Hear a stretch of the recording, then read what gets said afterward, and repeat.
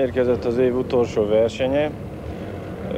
Összefoglalva az eredményt, eleddig négy versenyt fejeztünk be, négy versenyen kiálltunk műszaki hibák miatt. Tizedik helyen állunk most az Európa-bajnokságon.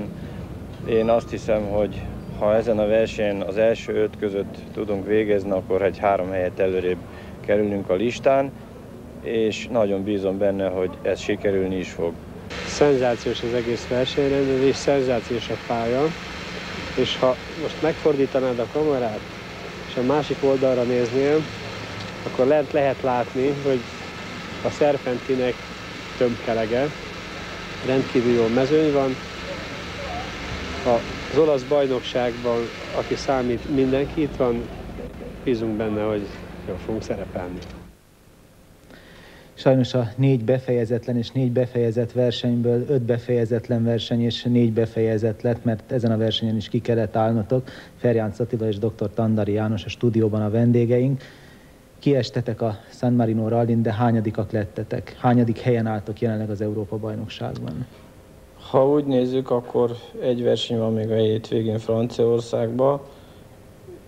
Tizedik helyen talán meg tudunk még kapaszkodni ha nem, akkor is a 11. egyedik helyen be tudjuk fejezni az évet. És ez lesz tényleg az utolsó verseny, nektek ez volt az utolsó verseny, de a többieknek ez az utolsó lehetőség, hogy még jobb helyet érjenek el a francia verseny. Ez így igaz, de én azt hiszem, hogy nem fog változni ez a lista már. Hát reméljük legalább a tizedik hely maradjon meg. Most végül is az év elején sokkal bizakodóbbak voltunk, legalábbis én sokkal bizakodóbb voltam, én sokkal jobb helyre számítottam. Aztán amikor jöttek a jó eredmények az elején, ugye, ugye a második körben, akkor, akkor még jobbra gondoltam. Most én egy kicsit letört vagyok ezzel a tizedik helyel. Ti hogy vagytok? Én azt hiszem, hogy nem olyan nagyon rossz eredmény ez. Főleg, ha összehasonlítjuk a tavalyi évvel, hiszen akkor 38-ak voltunk. Na most az, hogy tizedikek lettünk, a magyarázat mégis, hogy öt versenyen kiálltunk, négyet fejeztünk be. Ez azért annak köszönhető, hogy jól választottuk meg a versenyeket. Magaszolzó, nehéz versenyeket választottunk, és ahogy már évközben is lehetett látni, nagyon sok technikai problémánk volt. Csomó mindent sikerült kiküszöbölni, és bízom benne, hogy ha a jövőre is megkapjuk a bizalmat még, akkor egy jobb eredménnyel tudunk majd jövőre kirukkolni. Na hát akkor nézzük ennek a rallinak, a San Marino rallinak az eseményeit. János, kérlek mondd, hogy mit látunk a képen. Szirmai Béla mindig a városképekkel kezdi, de ez itt szorosan hozzátartozik a versenyhez, mert meghatározza a környék a pályát is. Hát San Marino önmagában véve is nevezetesség, ez pedig a San Marinoi vár és a városháza. Most San Marino egy kis köztársaság, szűk sikátorszerű utcákkal és szűk sikátorszerű utakkal is. És ezen rendezik a rallit? Ez egy szenzációs dolog.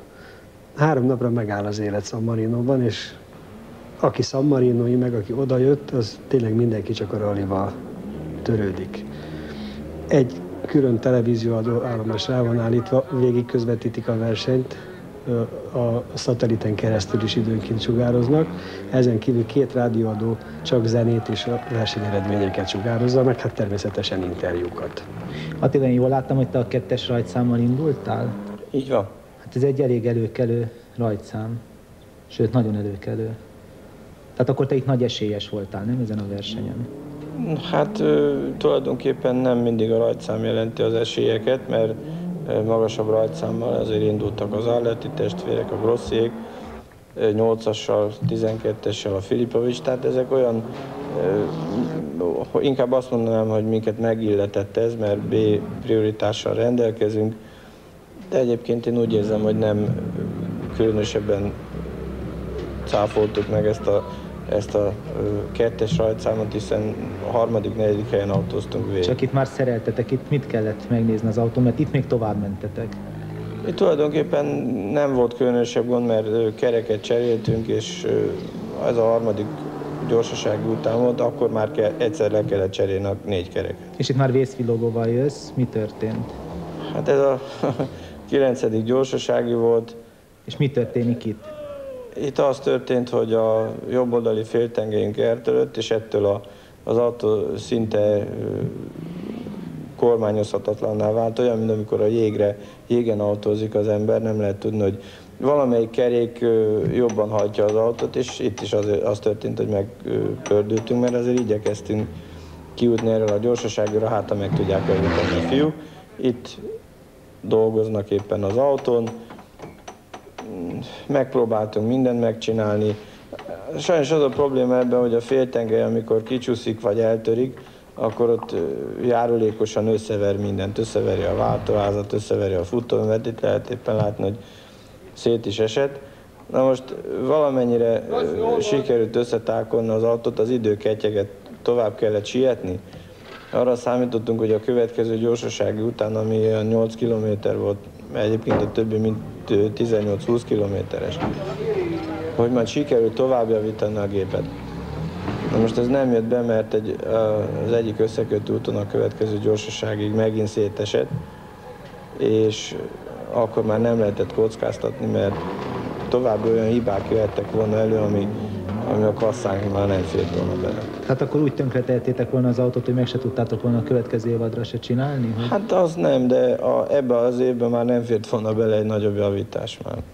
Hm, tehát spórolni kellett. Itt a szerelők még nem tudják, hogy később kiálltok. Ugye ezt a javítást ők befejezték, elpakolnak és mennek tovább utánatok.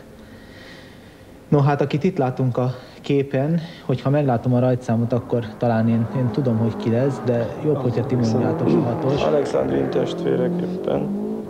Azt hiszem, hogy ők is elég szerencsétlenül jártak ezen a versenyen. Ők, hogyha jól tudom, akkor az egyik napot úgy fejezték be, hogy égett az autójuk, amikor megérkeztek a célba. Azt hiszem, hogy ezt az évet hasonló szerencsével abszolválták, mint mi. Elég sok versenyen találkoztunk ebben az évben, Lengyelországban, Csehszlovákiában, Bulgáriában. Ők voltak azok, ugye, akik a főcímben elvesztették a kereküket, aztán, aztán a tengely a, fék, a féktárcsán, féktárcsán érkeztek be a gyorsasági céljába, be is fejezték ott nyomban ezt a versenyt. Itt is rettenetesen sok műszaki gondjuk volt, végigjavították az egész versenyt, végül is aztán az ötödik helyen fejezték be. De azért a kocsiból már nem tudott kiszállni a vezető, mert hogy nyomnia kellett a gázt, mert egyébként nem tudott volna elmenni onnan, azt jelezte ott. És itt most már a nyolcas versenyzőt látjuk, ez szintén egy láncsa. Végül is hányadik lett? Ö, hát talán előtte még annyit mondanék, hogy ezen a versenyen a lanciák domináltak. A, az eddig látott képekből is teljesen egyértelmű, hogy a spiccen csak lanciák autóztak. Ezeken a szenzációs pályákon kizárólag murvás gyorsasági pályák voltak, 15-25 km hosszúságú pályák, és ami a, a szenzációs ezekben, hogy nincsen tele nagy kövekkel, kátyúkkal, hanem egy rendkívül jó, tempósan, technikásan autózható pálya, bárhova áll a néző ezen a pályán, mindig valami látványban lesz része. Igen, azt mondta Cirmai Bélának, hogy mindegy, hogy hol áll le, itt, mindenhol kanyar van és látvány. Igen, Ez hát ugye ebben az évben már kialakítottuk az együttműködésünket, és Béla arra szokott kérni, hogy előzetesen nézzük meg azokat a helyeket, ami kamera szempontból nekik kedvező, hiszen nincs annyi idejük, mint nekünk. Mi jó néhány nappal többet tréningezünk ezeken a pályákon. Hát itt valóban az volt, teljesen mindegy volt, hogy hova állnak, mindenhol egy-egy jó kameraállás. Ez még mindig rossz, jól látom? Igen. Igen. Ők a ők nyertek. versenygyőztesei. Nekik szerencséjük volt a láncsával. Hát Nekik azon ment. túlmenő, hogy szerencséjük volt, tényleg nagyon jó versenyző páros, és jók az eredményeik. Az orosz bajnokság szempontjából még jelentős volt ez a verseny, azért is volt itt ilyen kijelzett küzdelem. Igen, azért az látszik, legalábbis én úgy látom, hogy látszik, hogy ennek az autónak nagyon való ez a pálya, hogyha jó, nem? Tehát ennek találták ki. Nagyon szép. Attila, te mit érzel, amikor, amikor látsz egy működőképes láncsát, amelyik így veszi a kanyarokat? Hát nem tudok mit mondani, csak azt, hogy nagyon jó vele menni, ameddig megy, és tényleg csöndben nézem itt a kollégákat, hogy hogy autóznak. Azt hiszem, éppen a márkatársunk, a Jugoszláv Filipovicsot lehet látni. Ők ötödikek lettek? Negyedikek.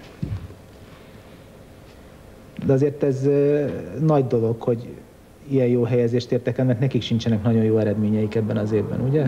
Nincs, hát az ő házi feladatuk tulajdonképpen a Jugoszláv bajnokság volt, amit azt hiszem még van egy verseny hátra nekik is, sikerült abszolválni. Igen, itt érkeznek be a célba, és itt látszik, hogy ők a csapattársak. És ez már Grossi, a győztes. A győztes és mindjárt a pesgő.